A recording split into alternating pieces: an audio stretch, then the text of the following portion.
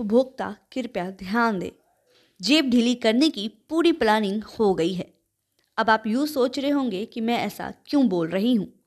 तो आपको बता दूँ, बिजली बिल में बड़ा बदलाव होने जा रहा है, जिसका सीधा असर आपकी जेब पर पड़ेगा। बिहार में बिजली उपभोक्ता के लिए बड़ी खबर है। नए साल में बिजली विभाग की ओर से उपभोक्ताओं को बड़ा झटका देने की तैयारी हो चुकी है। महागठबंधन की सरकार में न्यू ईयर में ग्रामीण और शहरी उपभोक्ताओं की जेब ढीली करने की पूरी प्लानिंग हो चुकी है। आपको बता दें कि इस फैसले का पूरा असर उपभोक्ताओं पर पड़ेगा। स्थिति ये है कि बिजली कंपनियों ने फिक्स चार्ज में बड़ा बदलाव लेने का फैसला ले लिया है। नए साल में बिजली उपभोक्ताओं को 440 वोल्ट का झटका लग सकता है।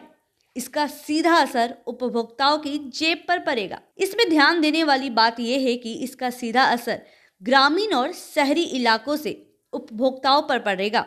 उपभोक्ताओं को बढ़ी हुई बिजली दर की मार झेलनी पड़ सकती है। इसे लेकर अब विद्युत विनियामक आयोग आगामी 20 जनवरी से सुनवाई करेगा। इस जन सुनवाई में कोई भी आम उपभोक्ता अपना पक्ष आयोग के सामने रख सकता है। बिजली कंपनियों की ओर से घरेलू उपभोक्ताओं को बिजली कीमतों में दो दशमलव छप्पन रुपए से लेकर तीन दशमलव चालीस रुपए तक प्रति यूनिट बढ़ोतरी का प्रस्ताव दिया गया है। जानकारी के मुताबिक ग्रामीण क्षेत्रों के घरेलू उपभोक्ताओं के फिक्स चार्ज में डबल और शहरी उपभोक्ताओं के फिक्स चार्ज में डबल से भी ज़्यादा बढ़ोतरी का प्रस्ताव दिया गया है।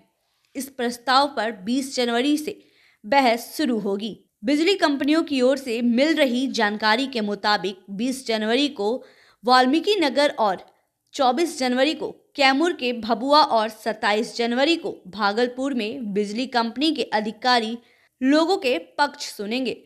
वहीं दूसरी ओर एक फरवरी को अरवल और 10 फरवरी को पूर्णिया के साथ 17 फरवरी को पटना में आयोग जन सुनवाई करेगा।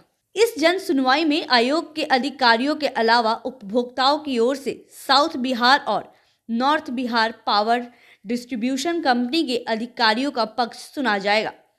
उसके बाद बिजली कंपनी का पक्ष सुनने के बाद फैसला सुरक्षित रख लिया जाएगा। आयोग इस मार्च के अंत तक अपना फैसला सुनाएगा। ये फैसला 1 अप्रैल 2023 से 31 मार्च 2024 तक लागू कर दिया जाएगा। जानकारी के मुताबिक बिजली उपभोक्ताओं को पहले से यह तय कीमतों पर सब्सिडी मिल रही है।